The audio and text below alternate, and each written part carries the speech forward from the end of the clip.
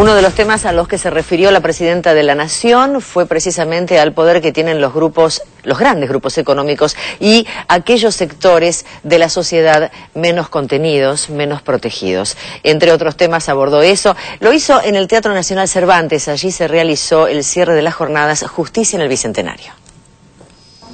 Estamos hablando del Poder Judicial, que es uno de los tres poderes del Estado un poder que debe ser independiente del gobierno, pero nunca de los intereses del Estado. Porque el Estado somos absolutamente todos los que vivimos en la República Argentina. El gobierno es el que tiene la responsabilidad de administrar y gestionar en el marco de las facultades que le asigna la Constitución.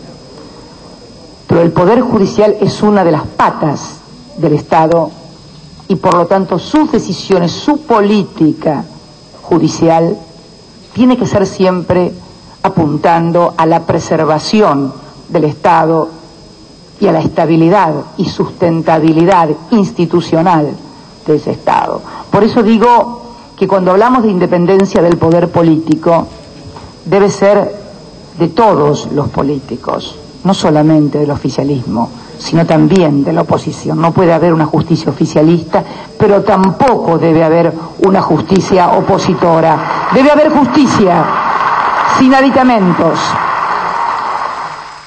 La política, cuando se somete al voto de las urnas, tiene una legitimidad de la que carecen los poderes concentrados de la economía que normalmente se heredan o se transfieren a través de acciones nominativas o no eh, en la República Argentina.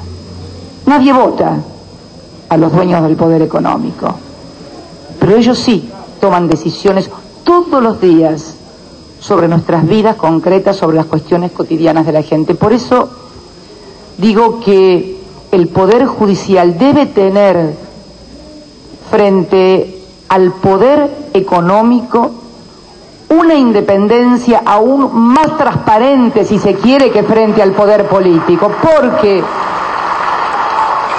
la justicia tiene el gran rol de equilibrar y reparar, pero fundamentalmente equilibrar, equilibrar en la sociedad el inmenso poder, el inmenso poder de las concentraciones y corporaciones económicas frente al resto de la sociedad.